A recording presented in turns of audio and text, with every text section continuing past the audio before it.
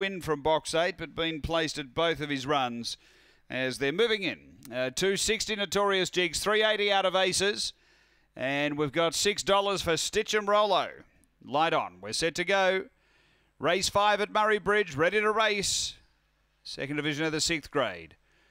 On their way, good speed early from Stitch and Rollo. Going quickly, Voulez-Vous's going to join and head it. Then Pinky Girl. Uh, four out, Notorious Jigs coming into it quickly and takes the lead. Uh, then out of Aces, Boogie Shoes, shuffle back, McLaren Mystique and Stitch and Rollo out the back now. Straightening up, Notorious Jigs skip clear. Out by three or four over Pinky Girl. Down the outside, out of Aces. Uh, but too good here, Notorious Jigs. Goes on to win it just two lengths in the end. Pinky Girl second. Third home out of Aces. Then came McLaren Mystique. Uh, Stitch and Rollo from Boogie Shoes and Voulez-Vous. The time here is around 22.69 after uh, the running of race number five. And uh, numbers are eight, four, six, and fourth home is number two.